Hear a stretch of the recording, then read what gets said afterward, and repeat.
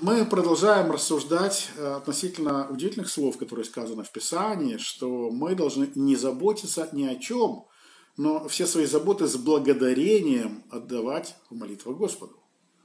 И э, если мы этот вопрос будем рассматривать глубже в Писании, то выясняется, что Писание говорит, что мы не просто должны не заботиться, мы должны радоваться, когда на нас, на нашу долю выпадают всевозможные испытания. Казалось бы, а чему, собственно, радоваться? Кому нравится, когда у него проблемы, когда у него боль, когда у него трудности? Но именно так говорит Писание. И наш сегодняшний текст, э, послание Иакова, 1 глава, э, со 2 по 5 стих. С великой радостью принимайте, братья мои, когда впадаете в различные искушения, зная, что испытание вашей веры производит терпение. Терпение же должно иметь совершенное действие, чтобы вы были совершенны во всей полноте, без всякого недостатка. Если же у кого из вас недостает мудрости, да просит у Бога, дающего всем просто и без упреков, и дастся ему. Мы должны э, усвоить одну простую вещь, что без боли не бывает развития. Казалось бы, э, это такое парадоксальное заявление на первый взгляд, но э, давайте порассуждаем. Всякое развитие предполагает перемены. Развиваясь, мы меняемся. Всякие перемены – это всегда отказ от чего-то, то есть потеря. Всякая потеря болезненна. То есть в итоге получается, что развитие равно перемены, перемены равно потере, потери равно боль. То есть развитие равно боль. Вы знаете, а, возле нашего дома была вишня, которую посадил еще мой отец, когда мне было лет пять. Само дерево выросло до высоты, может быть, метра три но у него развилась огромная такая шапка из веток, где большие ветки разделялись на более мелкие, они все переплетались, в итоге получалась здесь такая огромная папаха, которая вся полностью э, по весне покрывалась белыми цветами, как такое облако из э, вишневого цвета было прямо напротив нашего окна. Вот. А потом, естественно, появлялись вишни, и их было так же много, как и цветов, только многие из них были засохшие, недозревшие, они были мелковатые, со временем они вкус свой теряли, и э, было понятно, что дереву тяжело все это вместе носить, мы как могли за ним э, ухаживали, и время от времени какие-то ветки засыхали, и вот я считал своим долгом всегда обрезать засохшие ветки, потом мне дети стали, выросшие, помогать, э, э, залазили на дерево, пилили эти ветки. Но э, по-прежнему веток было много, вишни было много, э, но я думал, ну просто стареет вишня, поэтому она и дает не такие вкусные плоды. И как-то раз к нам в гости пришла наша знакомая, которая э, выросла в сельской местности, и э, у нее в хозяйстве у родителей было много деревьев, она знала, как за ними ухаживать.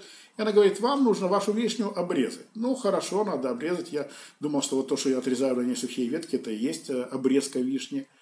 Она взяла ножовку, она взяла секатор, и в течение полудня обкорнала вишню так, что осталось всего несколько веточек.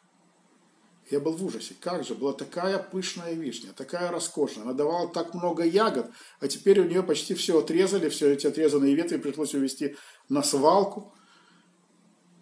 Но когда пришло время урожая, общее количество вишни э, было не меньше, чем в начале, но при этом все вишни были большие, спелые, сочные. Огромное количество вот этих веточек, они отбирали соки у дерева, и моя-то идея была, что обрезка, я слышал, что нужно деревья обрезать, что обрезка это было удаление сухих веток. На самом деле обрезала э, это наша знакомая ветви, которые плодоносили, ветви живые. И э, делала ужасное, с моей точки зрения, э, действие по отношению к этой вишне. Но результат оказался потрясающим. Э, это, пожалуй, это весь мой опыт сельскохозяйственной деятельности – вот. Но у нас есть Слово Божье, и э, очень интересно, что в конце, в конце Евангелия Тана Иисус проводит длительную беседу со своими учениками, и очень часто люди думают, что вся эта беседа происходит в Сионской горнице. Э, она, беседа сама длится несколько глав Евангелия Тана, но на самом деле мы должны понимать, что в Сионской горнице проходит только ее часть, большая часть приходит за пределами ее.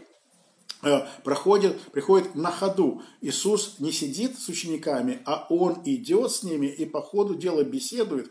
и, и идет он из Сионской горницы в Гефсиманский сад, э, то есть он спускается склонами э, речью Кудрон, Кедрон, за которым, собственно, располагается Гефсиманский сад, и, спуск... и эти склоны были покрыты виноградниками. То есть они идут вдоль виноградников и продолжают беседу. Конец 14 главы Евангелия от Иоанна. Вскользь многие не замечают этой простой фразы. Три слова. «Встаньте, пойдем отсюда». Еще в самом начале беседы Иисус говорит, все, пошли. И дальше беседа продолжается на ходу, и э, лишь э, 18 глава, 1 стих, сказав сие, Иисус вышел с учениками своими за поток Кедрон, где был сад, в который вошел сам ученики его. То есть 15, 16, 17 главы э, э, Иоанна – это беседа по пути. Иисус идет с учениками через виноградники и беседует. И в частности, он говорит следующее. Он говорит, я есть истинная виноградная лоза, а отец мой виноград. Это как прекрасный учитель. Иисус использует э, то, что они в этот момент видят, как наглядное пособие. Он показывает, как ветви, дающие плоды, расположены на лозе. Вот. И э, 4-6 стих говорит, как ветвь не может приносить плода сама собою, если не будет на лозе, так и вы, если не будете во мне. Я есть лоза, вы ветви, кто пребывает во мне, и я в нем, тот принесет много плода. Ибо без меня не можете делать ничего. Кто не прибудет на мне, извергнется вон, как ветвь, э, как ветвь и засохнет. А такие ветви собирают и бросают в огонь, и они сгорают. Но э, ключевым стихом является стих второй. «Всякую у меня ветвь». То есть сгорают ветви, которые не на лозе, которые отпали, они засыхают и сжигают. Но э, при этом всякую у меня ветвь, то есть ветвь, находящую на лозе, не приносящую плода, он отсекает и всякую приносящую плод очищает, чтобы больше принесло плода. И вот тут, э, пожалуй, наверное, опыт мой с вишней больше подсказывает мне, чем э, вот этот перевод, потому что, э, наверное, переводчик не больше опыта, и опыта имел с виноградником, чем я, потому что опытные толкователи и люди, понимающие, о чем идет речь, говорят, что здесь речь идет о трех типах ветвей. Первые ветви, которые вообще не на лозе. И это ветви, которые засыхают, и их выбрасывают в огонь. Вторые ветви э, – это ветви, которые на лозе, но не дают плода. И третьи ветви – это которые и на лозе, и дают плод. Так вот, э, ветвь, что не на лозе, она засыхает, ее бросают в огонь. А вот этот всякая ветвь, что у меня не приносит плода, э, ее виноградарь отрезает – но наводит нас на ужасные мысли. То есть, если мы не приносим, будущего Христе не приносим плода, так что ж, мы теперь идем в погибель, что ли?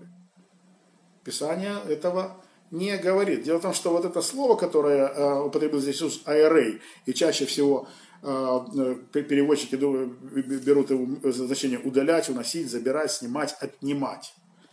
Оно также, э, на самом деле, оно также имеет э, понятие поднимать и подбирать. То есть не дают плода ветви на винограднике, которые опустились вниз, они на, они на земле лежат, на них солнце не э, падает. И что делают виноградари? Они эти ветви поднимают, они их заламывают, они их перекручивают. Они их подвешивают на вот эти вот э, тросы, которые между шпалерами тянутся, чтобы э, на эту ветвь попадал, попадало солнце, и чтобы они начали плодоносить. И э, многие испытания, которые мы проходим, это вот такое заламывание, подвязка вот, для того, чтобы мы приносили плода. Но э, следующее, что у нам бы ожидалось, и переводчик э, следует э, этому совершенно естественному ожиданию, ну, а кто приносит плод, у того вообще все будет в шоколаде, все будет хорошо, никогда никаких проблем не будет. Вот, и в переводе говорится, всяких, всякую приносящую плод он очищает. Вот, но э, если слово, которое переведено, отрезает айрей, тут стоит э, производное это слово катайрей. Кат – это э, э значит, приставка совершенной формы. И здесь, э, как, его значение очищает, очищает, освобождает. То есть на самом деле речь идет о том, что ветви, которые приносят плода, хозяин подвергает обрезке. Он их обрезает, чтобы они приносили больше плода. Как вот тогда с вишней. Обре... ветви, которые плодоносили, их обрезали, от них отрезали кучу лишних отростков, чтобы они приносили еще больше плода. То есть всякая, значит, э, речь не идет о том, что кто не приносит плода будет наказан, кто не на лозе тут вообще будет наказан, а тот, кто плодоносит, тому все будет хорошо. А тот, кто плодоносит, у него будет все хорошо. Но это хорошо не совпадает с нашим хорошо. Потому что подлинное хорошо – это плодоношение во имя Господа. И эти ветви подвергаются обрезке. А, и э, мы видим здесь э, выводы, которые мы можем применять к себе, как виноградным ветвям. И мы видим, что в первую очередь отрезаются засохшие ветви. Что в нашей жизни является засохшими ветвями? Что в нашей жизни в принципе не способно приносить плода? Мы от этого должны отказываться.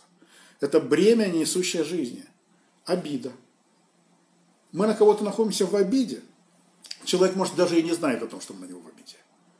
Но это то, что высасывает из нас соки, высасывает из нас силы, э, не дает нам радоваться жизни, не дает нам благодарить Господа, отвлекает нас от, от плодоношения. Токсичные отношения. Иногда мы ввязались в отношения с какими-то людьми, которые совершенно э, не имеют ни перспективы, ни э, цели, и только нас э, обременяют, только лишь отравляют нашу радость и прочее. Но мы продолжаем тянуть эти отношения, потому что ну как же так?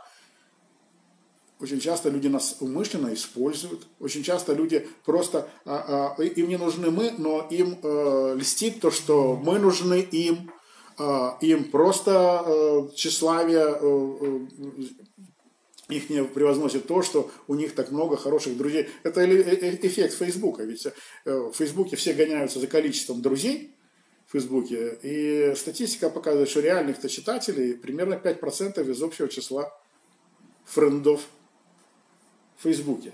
Но это лишь отображает вот эту вот тенденцию. Это все без плод, не просто плод, бесплодные ветви, а ветви засохшие, которые в принципе а, плода приносить не, приносить не смогут. Нереальные ожидания в нашей жизни. Очень часто у нас есть какие-то идеи, мечты, которые в принципе нереальны, но мы только сидим и паримся, ах, почему же у нас этого нет. А вот если бы у нас было, как бы было хорошо, если бы все было. Вот. Но э, как, как бы все славно было, если было все не так. Это все мертвые ветви. Это все ветви, которые тянут из нас силы. Избавляйтесь от э, токсичных отношений. Избавляйтесь от нереальных ожиданий. Избавляйтесь э, от, э, ну, каких, каких, от обид и огорчений, ожесточений, которые отравляют наше сердце, при этом совершенно никак не влияют на других людей. Они лишь мешают нам самим. И э, второе, э, э, следующий урок, который мы можем отсюда извлечь, что обрезка, обрезание, которое делает нам наш виноградарь, это не наказание, а освобождение. То есть нас обрезают от того, к чему были привязаны мы, не, потому, что это зачастую плохо. Оно может быть хорошо, оно может быть приятно, оно может быть привычно, но оно не дает расти нам дальше. Оно не дает нам приносить плода. Это могут быть места, это могут быть компании, это могут быть проекты, все что угодно, но все, к чему мы привязаны, э, э, и, и то, что нас держит и не дает расти дальше. Сколько раз в жизни нам было больно, когда мы чего-то лишались. Мы теряем что-то, так больно, так обидно. Потеряли работу, урезали зарплату, потеряли дом, потеряли человека, на которого мы надеялись в этой жизни. И так больно, так обидно – а потом лишь со временем, все, все это время мы говорим, за что же нам это, ну почему же мы это вот снова и снова наступаем, наступаем на, те, на те же грабли, а потом со временем, проходит некоторое время, мы оглядываемся назад и понимаем, это же было облегчение. Эти отношения нас держали. Это работа, которая уже, на которую ходить было как бремя она э, не давала нам творчески э, воплощать э, вот это предназначение, которое нам дал Бог, преображать творение, влиять на других людей. Это обида, за которой мы сидели и не, не, не, не, развивали никаких других дел и отношений, она нас удерживала всего. Мы, мы получаем облегчение, мы получаем освобождение.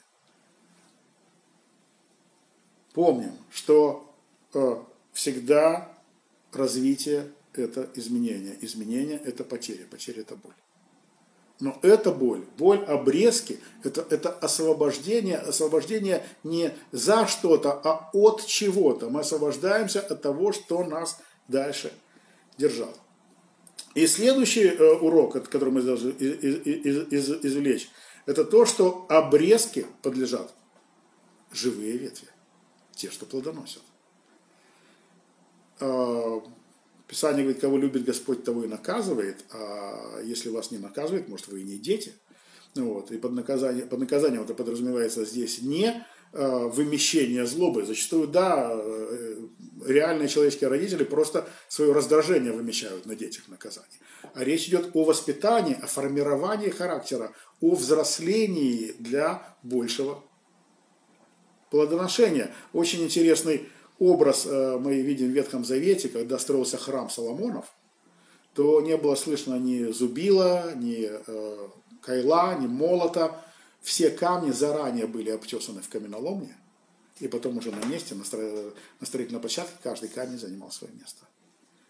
Вот эта жизнь наша сейчас, это каменоломня, где мы проходим обтесывание, для того, чтобы занять свое место как живые камни в храме Господа.